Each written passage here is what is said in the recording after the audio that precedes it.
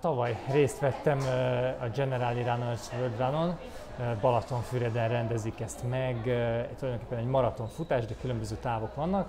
Idén pedig magammal tudtam vinni Bettit is, és együtt vállalkoztunk arra, hogy lefutjuk a 10,5 kilométeres távot, amit meg is tettünk. Remekül éreztük magunkat, fantasztikus idő volt, nagyon nagy szerencsénk volt, végig sütött a nap, volt rajtunk kívül vagy 2000 másik futó, csodálatos hangulatban, úgyhogy nagyon jól éreztük magunkat. Velem volt ez az Under Armour Hoover Infinite cipő, ami amellett, hogy nagyon kényelmes, és tök jó benne futni, még ilyen hosszabb távot is, pedig én azért ritkán futok ilyen hosszút.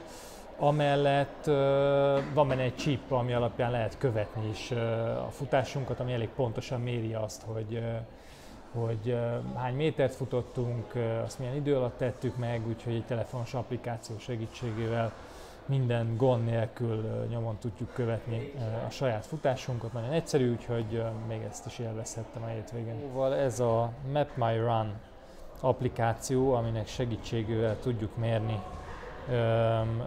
a futásainkat. Ugye, ha elindítjuk, akkor mutat egy időt, egy távolságot.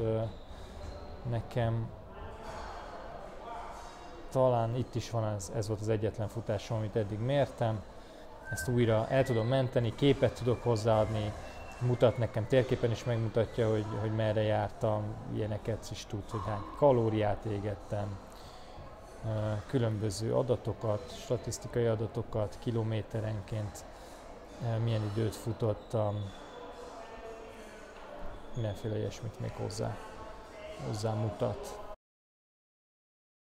Bettivel mi már futottunk félmaratont is együtt, igazából ilyenkor az ő sebességét lőjük be, és, és megpróbálunk, megpróbálunk úgy futni, hogy azért inkább jól érezzük magunkat, mint szenvedjünk, és ez most sikerült is, olyan sebességet választottunk, ami mind a kettőnknek komfortos volt, és a 10,5 km után ugyan elfáradtunk, jól esett már beérni a célba, de nem haltunk meg a futás közben.